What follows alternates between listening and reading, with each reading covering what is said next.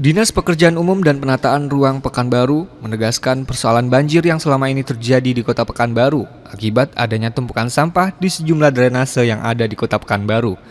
Dinas PUPR Pekanbaru juga sudah menurunkan pekerja untuk melakukan pembersihan di lapangan.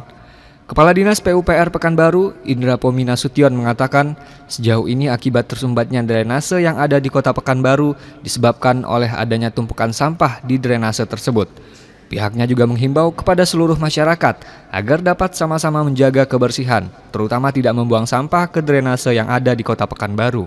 Berkaitan dengan sampah-sampah ya, memang sampah ini menjadi masalah kita kalau tidak ditata kelola dengan baik. Jadi di drainase drainase kita, anak-anak sungai kita tuh kadang-kadang itu menjadi uh, tersumbat, aliran air tidak lancar itu akibat banyaknya sampah yang menumpuk di sana. Nah ini sesungguhnya kita udah pernah berkoordinasi dengan DLHK supaya dilakukan sosialisasi ke masyarakat kita supaya tidak membuang sampah uh, ke sungai atau ke drainase.